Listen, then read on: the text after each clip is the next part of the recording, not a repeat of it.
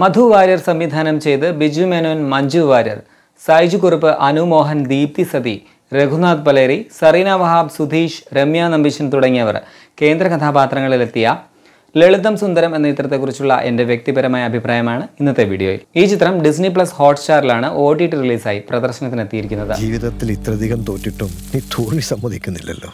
പപ്പ എന്നെ പൂഴ്ത്തിയതാണോ അതോ ആക്കിയതാണോ തീർച്ചയായും പേര് പോലെ ലളിതമായ സുന്ദരമായ ഒരു കുടുംബ ചിത്രമാണ് ലളിതം സുന്ദരം. അമ്മയുടെ ഓർമ്മ ദിവസം മക്കളും മരുമക്കളും ചെറുമക്കളും കാലങ്ങൾക്ക് ശേഷം ഒത്തുചേരുന്നു.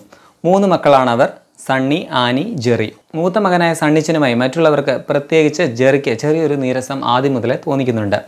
ഇവരുടെ ഇണക്കങ്ങളും പിണക്കങ്ങളും ഒക്കെയാണ് തുടർന്ന് ഈ സിനിമയിൽ കാണിക്കുന്നത്. തിരക്കിട്ട ജീവിതത്തിനിടയിൽ പരസ്പരം സംസാരിക്കാനോ വിഷമങ്ങൾ പങ്കുവെക്കാനോ ശ്രദ്ധിക്കാതെ ബന്ധങ്ങൾ ശിഥിലമാകുന്നതിനെ ഭംഗിയായിട്ട് അവതരിപ്പിച്ചിരിക്കുന്ന ഒരു ചിത്രമാണിത്.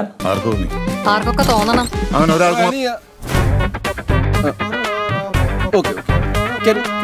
ഒരുപാട് തവണ നമ്മൾ കണ്ടതും കേട്ടതുമായ കഥയാണെങ്കിലും സാധാരണ പ്രേക്ഷകരെ പിടിച്ചിരുത്തുന്ന മാജിക്ക് ഈ ചിത്രത്തിലുമുണ്ട്. ടൈറ്റിലിൽ തന്നെ നയന്റീസ് കിഡ്സുകൾക്കുള്ള നൊസ്റ്റാളജി സിനിമ നൽകുന്നുണ്ട്. സിനിമയുടെ പ്രധാന പോസിറ്റീവായിട്ട് തോന്നിയത് ഇതിന്റെ കാസ്റ്റിംഗ് ആണ്.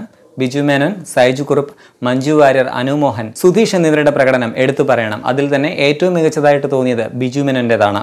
തോറ്റുപോകുന്നവൻ അപമാനിക്കപ്പെടുന്നതിന്റെ വേദനയൊക്കെ ഭംഗിയായിട്ട് അദ്ദേഹം അവതരിപ്പിച്ചിട്ടുണ്ട്.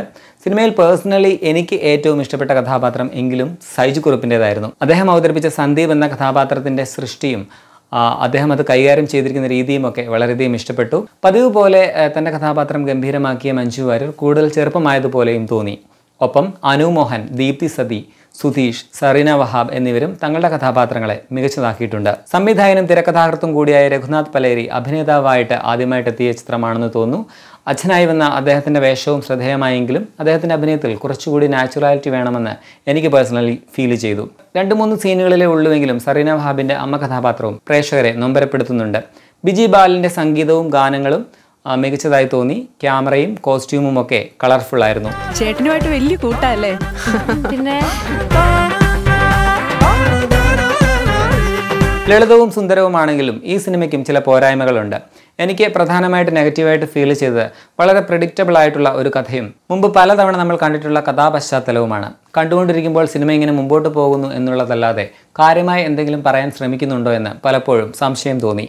തിരക്കഥയിൽ അല്പം കൂടി വ്യത്യസ്തത പ്രതീക്ഷിച്ചിരുന്നുവെങ്കിലും പലപ്പോഴും അത് ലഭിച്ചിരുന്നില്ല. കഥയേക്കാൾ താരങ്ങളുടെ പ്രകടനമാണ് സിനിമയെ പിടിച്ചു നിർത്തുന്നതെന്നും തോന്നി. എന്തായിരുന്നു? സപ്തമിശ്രീ തസ്കര. കെട്ടില്ലേ? പിന്നെ ഇങ്ങനെ കെട്ടിയിട്ടല്ലേ കക്കാൻ പോണേ തീർത്ഥാടനത്തിന് ഇങ്ങനെ പാണ്ടോ നോക്കിയിട്ടല്ലേ പോകുന്നത് ആ എന്താ കുഴപ്പം? ചുരുക്കത്തിൽ കുടുംബ പ്രേക്ഷകർക്ക് വളരെയധികം ഇഷ്ടമാകുന്ന ഒരു ഫീൽ ഗുഡ് മൂവിയാണ് ലളിതം സുന്ദരം എന്ന ഈ സിനിമ. അപ്പോൾ സിനിമ കണ്ടവർ നിങ്ങളുടെ അഭിപ്രായം താഴെ കമന്റായിട്ട് രേഖപ്പെടുത്തുമല്ലോ. കൂടുതൽ സിനിമാ സംബന്ധമായ വിശേഷങ്ങളുമായി മറ്റൊരു വീഡിയോയിൽ കാണാം. അതുവരേക്കും this is Rakesh signing off from hey cinema